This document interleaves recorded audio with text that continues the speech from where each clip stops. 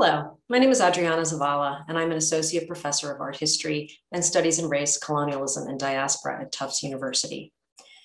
It's my pleasure and privilege to present this virtual lecture in support of the exhibition Frida Kahlo Timeless.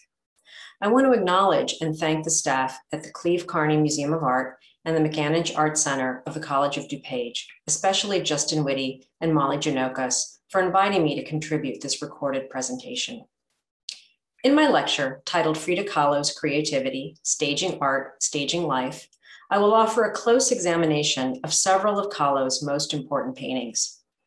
And I will also share insights on Frida Kahlo's creative self-adornment and the extraordinary arrangement of her home and garden. Along with her visual art, these were important modes of creative expression for Frida Kahlo.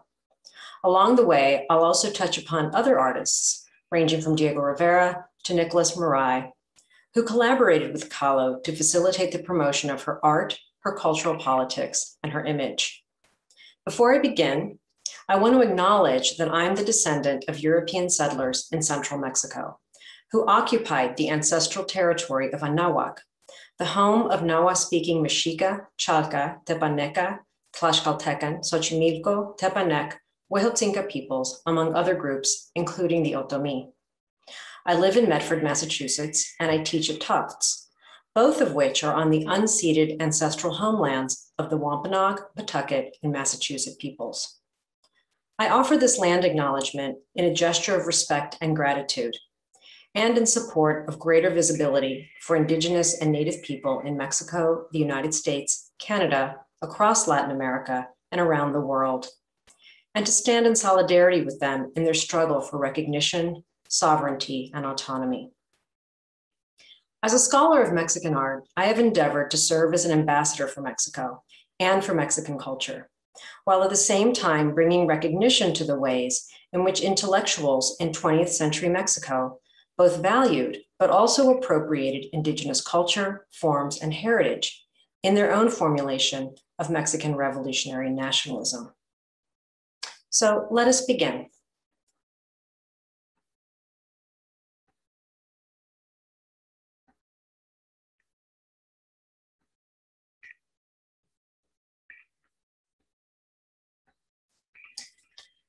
Among the cultural legacies of revolutionary nationalism are two important concepts mestizaje, which means mixture or synthesis, and indigenism or indigenismo. Both were foundational to the formulation by mostly white identified intellectual elites of a modern cultural consciousness we call Mexicanidad. This is an incorporationist symbolic ideology that in the 1920s and 30s, in the aftermath of the Mexican Revolution of 1910, was mobilized in the service of a discursive reconciliation of Mexico's mixed identity.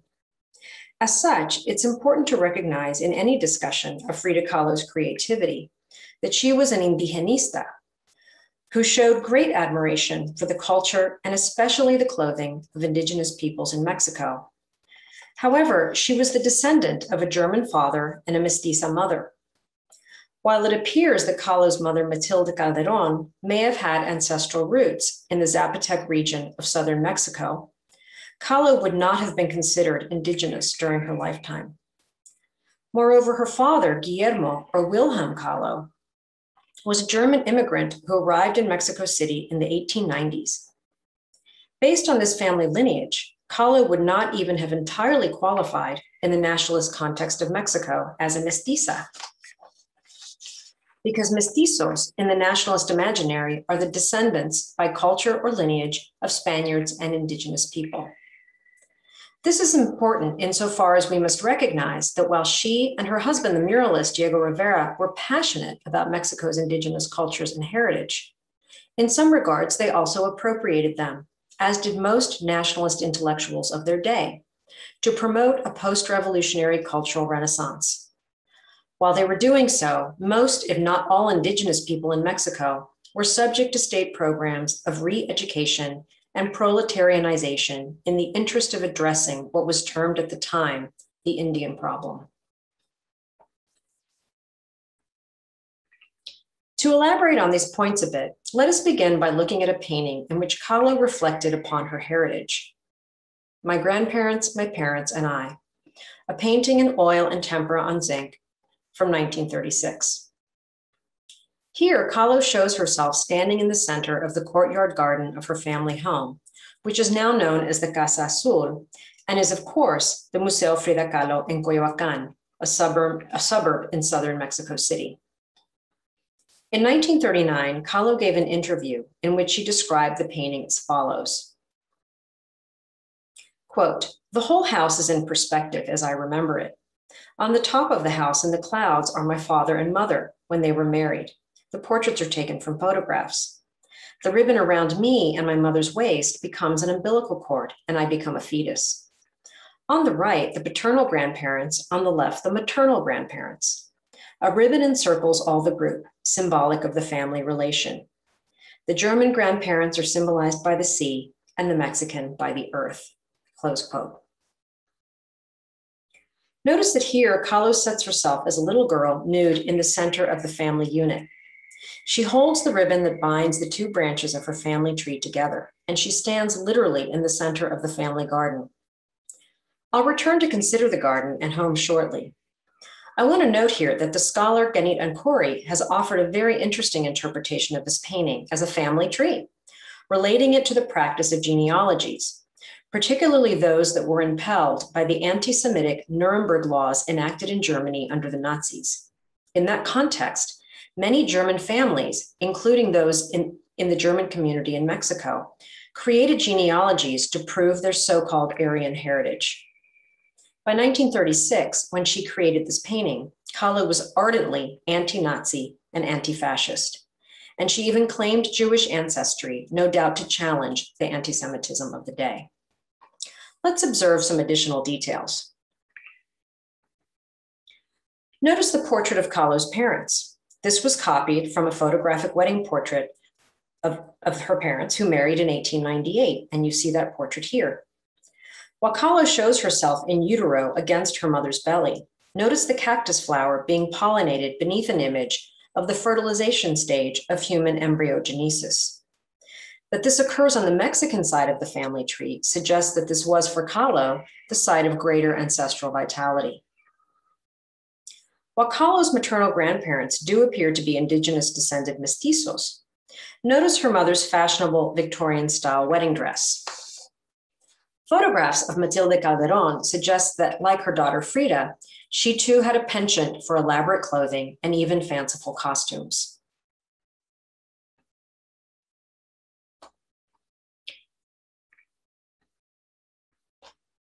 A re recently uncovered photographic archive has revealed that Matilde may have had some Zapotec heritage. Here she's shown among family members, and she, along with several of the women in the family, are dressed in the iconic garments worn by Zapotec women from Mexico's Isthmus of Tehuantepec. And you see Matilda here. This is a costume that Kahlo, among other nationalist intellectuals, made famous. Here, we're looking at a map of Mexico, and I've called out the Isthmus of Tehuantepec in the southern state of Oaxaca, down here. The isthmus is a culturally rich Zapotec region, and already in the 19th century became an economically strategic zone when efforts were made to build a railway and even a canal there to connect the Pacific Ocean to the Gulf of Mexico and the Atlantic. As a result, Zapotec women in this region gained notoriety among metropolitan intellectuals and foreign travelers. Because of their regal beauty, their distinctive clothing, and especially the elaborate lace headdress they wear on festive occasions. The headdress may in fact be a repurposed European petticoat. Because the Tehuanas play an important economic role within their communities, they have been mythologized as sexually liberated, powerful matriarchs. However, this is a much exaggerated claim. The photograph that I'm showing to the left shows Frida Kahlo here with Diego Rivera seated here, the New York based photographer Nickolas Muray, the artist Miguel Covarrubias, his wife, Rosa Rolanda, and two sisters, whose names were Alfa and Beta Rios Pineda. Alfa and Beta were prominent women intellectuals, and they were Zapotec from, this, from Juchitán de Zaragoza, one of two key towns in the isthmus powerfully identified with Tehuantepec culture. Notice that all four women wear the distinctive and beautiful costume from the isthmus. In fact, Rosa Rolanda, who you see here dressed in Tehuana costume in two portraits taken by the US photographer Edward Weston, was a modern dancer from the United States who married the Mexican artist Miguel Covarrubias. In the 1940s, Miguel and Rosa spent time in Tehuantepec, studied the people and culture there, and published an anthropological study in 1947 called Mexico South, Isthmus of Tehuantepec. I share this because it's important to understand Kahlo within her historical context. Here on the right, you see a photograph of Frida with her sister Cristina's children, Isolda and Antonio. And you might notice that Isolda, who looks to be about four years old, is dressed in the distinctive Tehuana costume as well, while Antonio, who looks to be about two or three, is dressed as an iconic charro, a Mexican cowboy. I've also included a photograph of Kahlo herself, taken by the American photographer Bernard Silberstein in 1940. Here she appears wearing the full Tehuana regalia. In an interview in the 1940s, Kahlo claimed to have no ancestral ties to the Tehuantepec. She nevertheless claimed this costume as her own. In the center of the screen, I'm showing you another photograph that depicts the painter Maria Izquierdo on the left here, and the photographer Lola Alvarez Bravo. Notice that they too are wearing the costume from Tehuantepec, and neither of these women was Zapotec or from the Isthmus.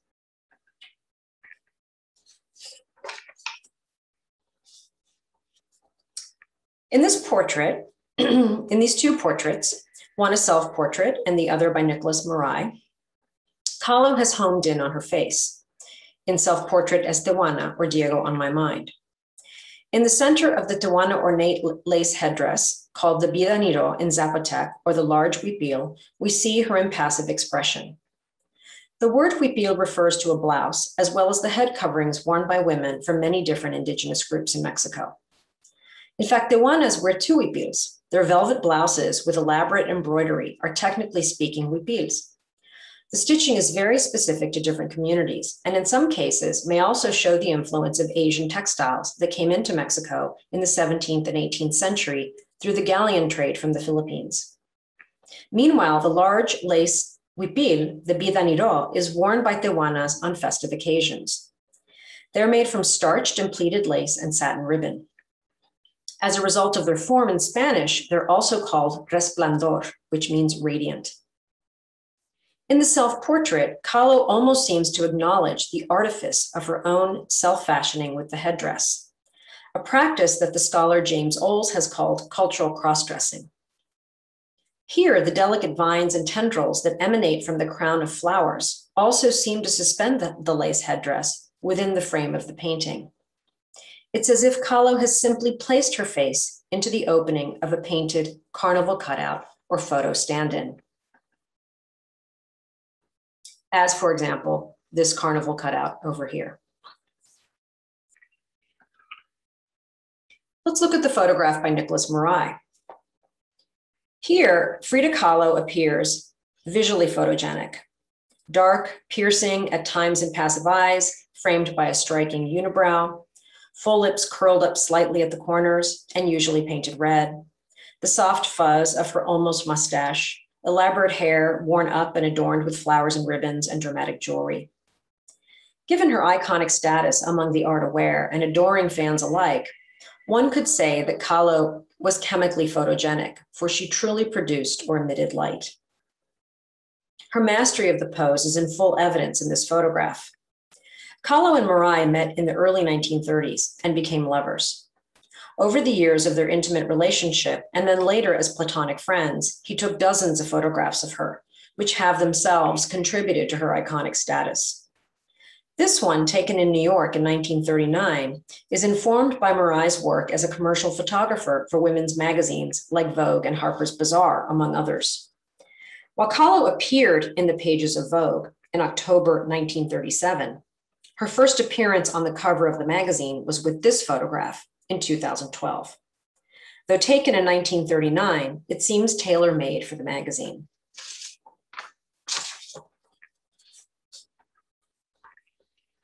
Photography played a central role in Frida Kahlo's life and art. She was intimately familiar with the medium as a result of her close bond with her father, Guillermo. After arriving in Mexico in 1891, he became a successful photographer with a prestigious studio in downtown Mexico City. His most significant commissions were photographs of important buildings, including new landmarks built during the dictatorship of Porfirio Diaz. Guillermo Kahlo earned a distinctive reputation as the first official photographer of Mexico's cultural patrimony. But he is said to have disliked portrait photography because, quote, he did not wish to improve on what God made ugly. In truth, however, he excelled at portraiture, and yet he appears to have reserved that talent for his family. In one such photo, taken on February 7th of 1926, when Frida Kahlo was just 19, she famously appears dressed in a man's three piece suit. From left to right, we see her sisters, Adriana and Cristina, and then Frida in the center. Then her cousin Carmen Romero and Carlos Veraza, Adriana's stepson.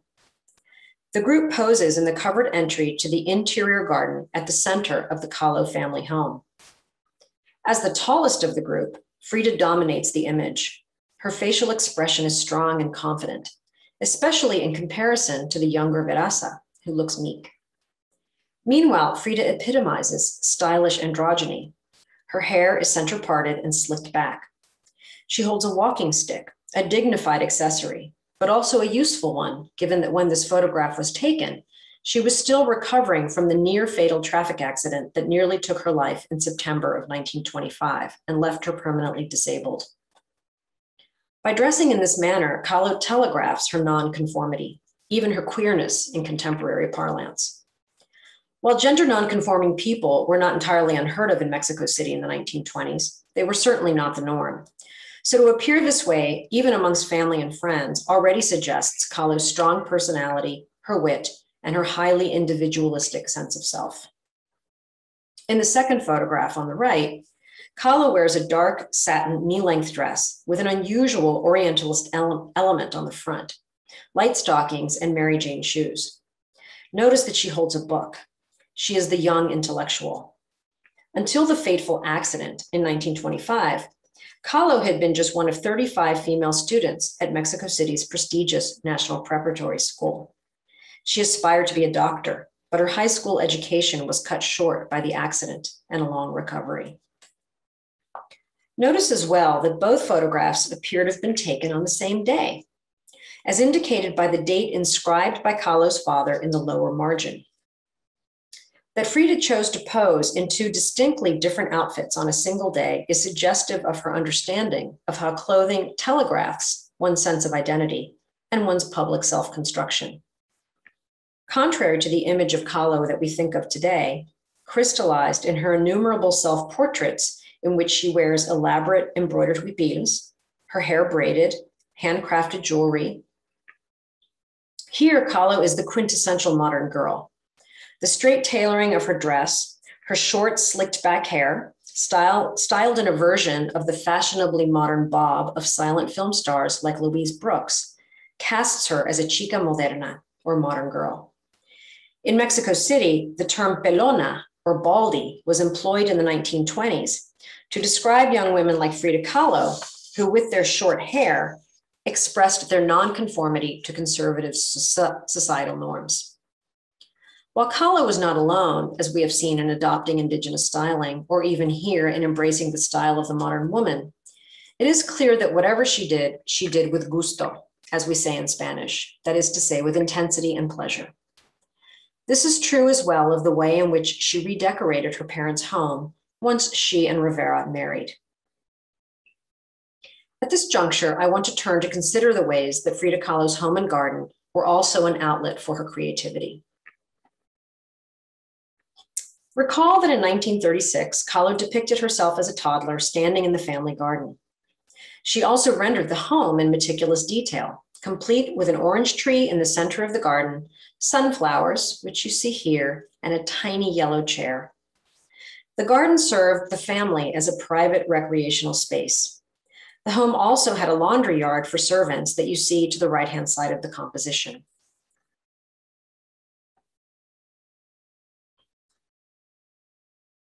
The Kahlo home was built around 1905. Its original style was neoclassical, as seen in a photograph in the upper left.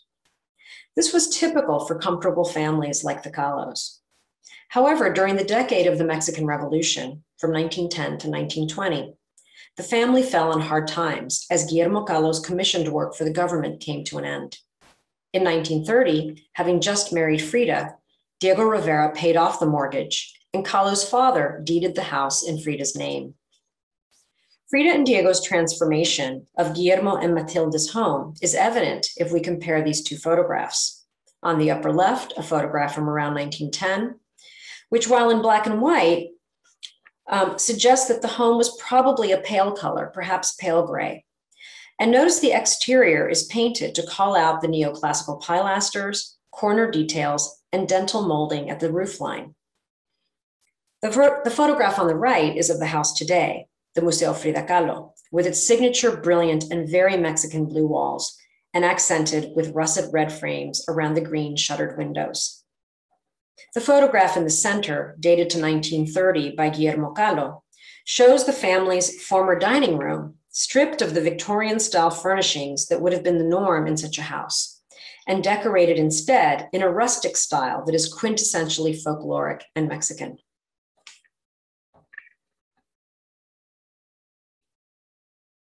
The folkloric character of the home is clear in photographs taken in 1939 by Nickolas Muray particularly the colorized photograph on the right. Here we see Kahlo in the garden that she and Rivera also transformed. In the black and white photograph, notice the addition of pre-Columbian artifacts and rustic sculptures by a self-taught sculptor named Mardonio Magaña. Rivera collected and promoted Magaña's work as expressing a quintessentially authentic aesthetic rooted in the people. Magaña worked in wood and stone, and his sculptures typically represent humble subjects like peasants and animals. The home became Kahlo's primary residence from the late 1930s until her death in 1930, excuse me, 1954.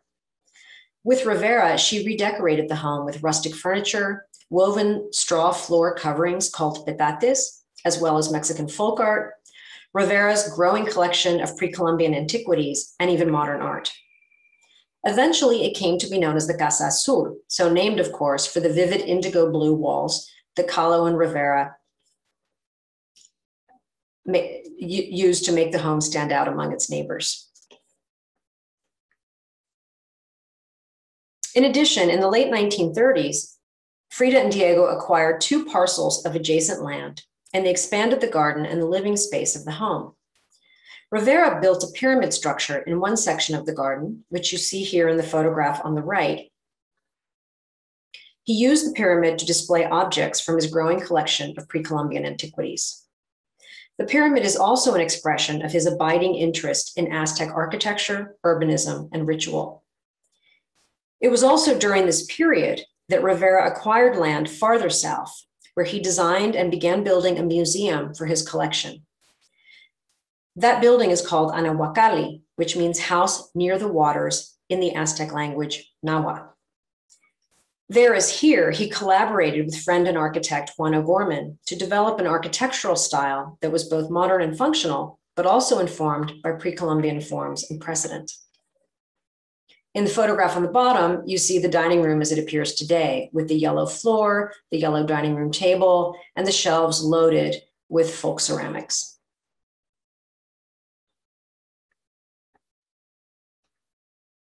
Aspects of this approach also shaped the addition to Kahlo's home that Rivera and Kahlo undertook in the 1940s. We see this here in the photograph on the left. Notice that the volumes are geometric. The windows are factory style. Yet the addition is faced with locally sourced volcanic stone to give it an organically Mexican character. Notice also the variety of native cacti that Kahlo and Rivera cultivated in the garden. In the photograph on the right, you see Frida and Diego standing next to the pyramid, which originally had a traditional thatched roof.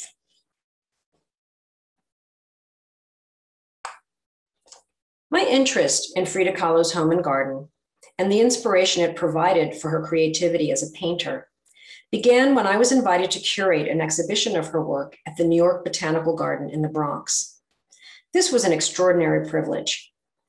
Working with the team at the NYBG, I learned so much more about Frida Kahlo and the importance of plants and animals as sources of inspiration for her painting.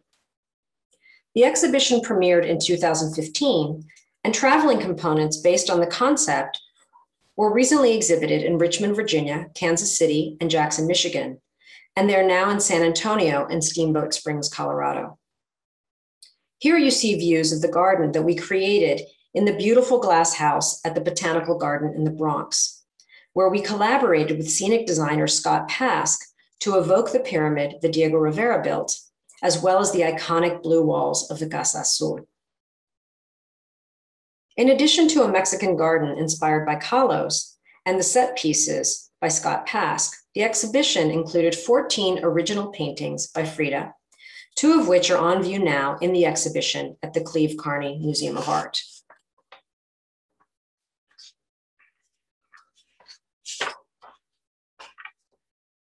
Portrait of Luther Burbank is one of only two paintings that Kahlo completed while she was living in San Francisco with Rivera. He had been commissioned to paint a mural called Allegory of California in the Pacific Stock Exchange.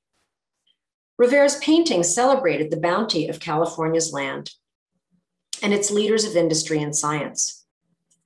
Horticulturist Luther Burbank, widely recognized during his lifetime for his hybridizing work, was among the figures Rivera depicted.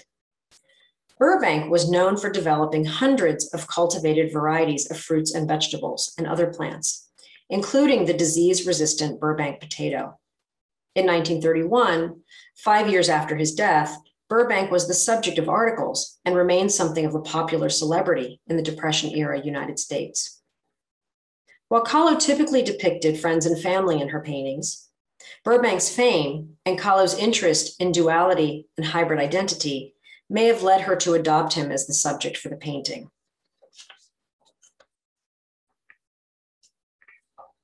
Kahlo first created a study for the portrait, and this is important because it complicates the popular notion that Kahlo painted directly from life. In fact, she often worked not only from sketches, but from photographs, as she did here. In the sketch and the portrait, Kahlo depicted Burbank straight on. He holds clustered vines with massive, deeply serrated leaves that resemble philodendrons, a large genus of tropical plants, many of which are native to the rainforests of Central and South America. The source for the pose seems to be a photograph of Burbank depicting him in a greenhouse holding a clustered philodendron vine extending upward from a pot. While Burbank is not known to have worked with philodendron, the genus was significant in ancient Aztec culture. Basket flower, Huacalxochitl in Nahuatl, is a member of the philodendron family, and it was often depicted in ancient codices and was associated with fertility, a fitting theme for a portrait of such a prolific plantsman. Many species of philodendron are native to Central America, which may also have appealed to Frida Kahlo, and eventually a variety of philodendron were planted in the garden at the Casa Azul. In her sketch, Kahlo has transformed Burbank into a tree, rooted to the soil from which he coaxed so many cultivars during his lifetime. His root system wraps around a vaguely humanoid shape that resembles a shrouded body. On either side of the central figure, food crops, among them carrots and beets, are depicted in various stages of growth, from growing of seeds to flowering to fruiting. Hands extending down toward the earth signify Burbank's work tending and selecting plants. When he died, he was buried under a cedar of Lebanon tree in his garden. Frida and Diego visited his home and garden during their time in San Francisco. In the painted portrait, Burbank's legs are fused together to form a tree trunk that takes root among human remains below the surface of the soil. The skeleton in which Burbank is rooted is rendered with great detail and seems to be nurturing the figure and the surrounding soil. The two citrus trees in the background, one with foliage and small fruit, stands in sharp contrast to the almost stubby leafless branches that bear much larger, brightly colored fruit. These allude directly to Burbank's work, which specifically sought to increase the food supply. He briefly experimented with hybridizing citrus to grow in cooler climates. One way to think about this painting is as a botanical illustration, showing the roots, stem, and leaves, and clearly labeling the specimen, the man himself.